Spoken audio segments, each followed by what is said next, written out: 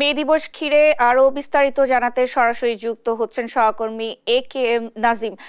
নাজিম, মে দিবসে চট্টগ্রামে কি ধরনের কর্মসূচি চলছে বা পালন করা হচ্ছে আমাদের বিস্তারিত জানাবেন। বলছেন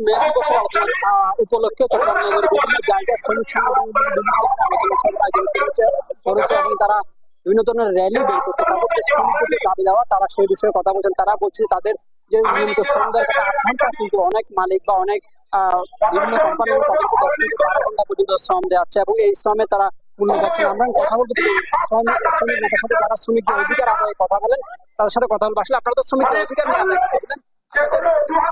আমাদের মেহেদি দিবস উপলক্ষে আমাদের শ্রমিকদের দাবি হলো একেবারে আট ঘণ্টা কাজের দাবি। আমাদের দিচ্ছে না মালিকরা, আমাদেরকে বিশ ঘণ্টা কাজ করায় আমাদের কোনো ওভারটাইম দিচ্ছে না নিয়োগপত্র দিচ্ছে না।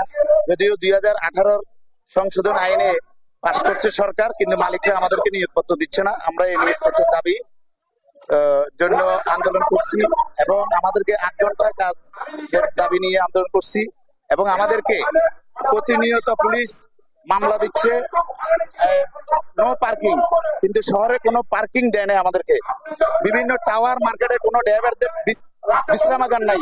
বিশ্রামাগার দিতে আমি আমার তেরোটি দাবি নিয়ে বিআরটি এবং আমার শ্রম দপ্তর, সিটি কর্পোরেশন, সরকারের প্রতি, জেলা প্রশাসকের প্রতি আমি চিঠি দিয়েছি। আমি এই দাবিগুলি যাতে, আমি মহান মে দিবসে দাবি করছি, যাতে সরকারের প্রতি, সরকার যাতে আমাদের এই দাবিগুলো বাস্তবায়ন করেন। শ্রমিকদের যে সরকার খুব দ্রুত পালন করে এবং তাদের শ্রমিকদের দাবি দেওয়া তারা শ্রমিক রয়েছেন, তারা হালকা শ্রমিকের দাবি আছে, তারা সেগুলো কথা আমি জানতে চাইব যে আপনাদের শ্রমিকদের দাবি দেওয়ার বিষয়ে আসলে আমাদের দাবি শুধু বর্তমানে যেটা হচ্ছে আইনের যে বাস্তবায়নগুলো সেটার জন্য সরকার কোনো পদক্ষেপ নিচ্ছে না। কিন্তু শ্রমিকের বিপক্ষে যে আইনগুলো আছে বিরাজমান যেমন নো পার্কিং এর আইন সেটার জন্য মামলা হচ্ছে যে আমাদের যে ড্রাইভারের লাইসেন্স না থাকলে জরিমানা হচ্ছে লাইসেন্স ফেল হলে জরিমানা হচ্ছে গাড়ি ফিটনেস ফেল হলে জরিমানা হচ্ছে। কিন্তু মালিক এক কোটি দুই কোটি টাকা দিয়ে গাড়ি কিনতে পারে। যে নিয়োগপত্র যেটা আইনে আছে সেটা বাস্তবায়নের জন্য আমরা আজকের এই মহান দিবস থেকে সরকারের কাছে জোরালো দাবি জানাব।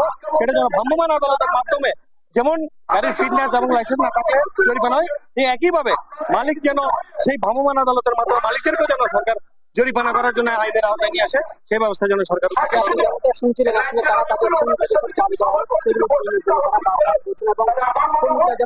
শিকার না হয়, সেই বিষয়ে শ্রমিক নেতারা থেকে আমাদের সর্বশেষ। নাজিম আপনাকে ধন্যবাদ। দর্শক, চট্টগ্রাম থেকে আমাদের সঙ্গে যুক্ত ছিলেন সহকর্মী এ কে এম নাজিম।